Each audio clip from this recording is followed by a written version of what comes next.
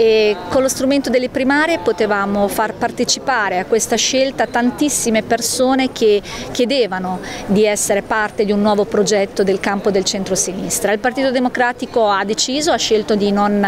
affrontare il percorso delle primarie e a questo punto abbiamo fatto vincere la responsabilità e la volontà di essere uniti come partito. Due passi avanti, ha detto Jamil, perché in queste settimane abbiamo lavorato eh, seriamente, io e lui, nella costruzione di un documento politico e programmatico che parla alla città, parla a tutti, punti chiari, punti legati al governo dei prossimi anni e, e la volontà anche di allargare il nostro campo politico a nuovo civismo, al dialogo con i 5 Stelle, ad una sinistra strutturata, in questo vogliamo essere molto forti e molto radicali. E poi raccogliendo anche quell'istanza che è arrivata dal basso di partecipazione, su questo noi dobbiamo essere estremamente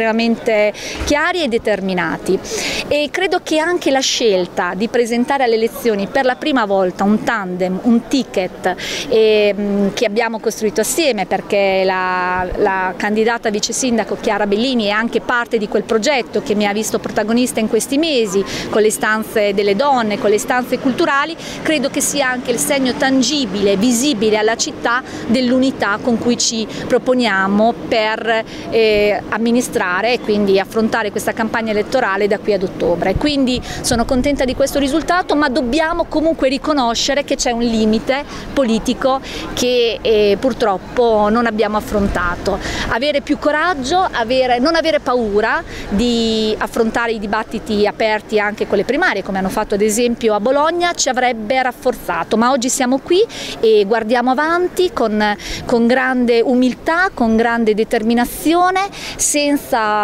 ehm, come dire, fraintendimenti e ipocrisie ma con la volontà appunto di essere uniti nella sfida di ottobre.